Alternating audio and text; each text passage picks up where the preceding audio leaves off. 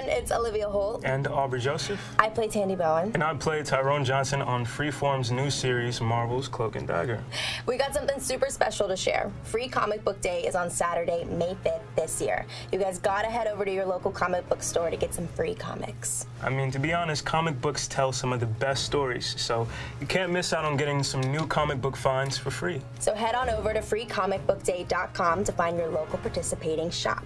And make sure you check out the Avengers and the Amazing Spider-Man comic books for free. Again, for free. While you're at it, make sure to check out the premiere of our new show, Marvel's Cloak and Dagger, on June 7th at 8 p.m. 7 Central on Freeform. See you then.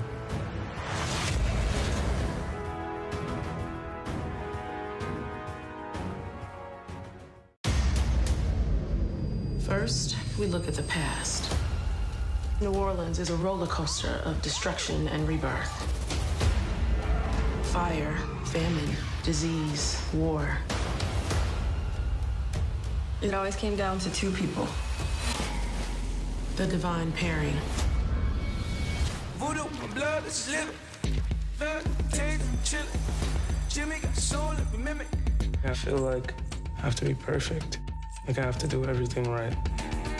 I go the other way. I run away from everything. I've had a lot of things taken from me. And everything I have, I've had to steal. There's something about fear that pushes me.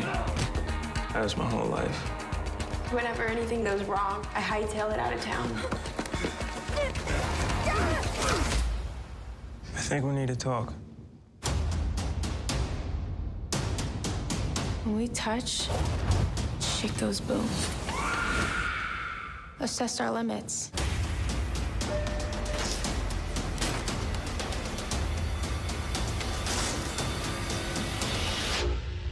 It's the same as it was for all the others.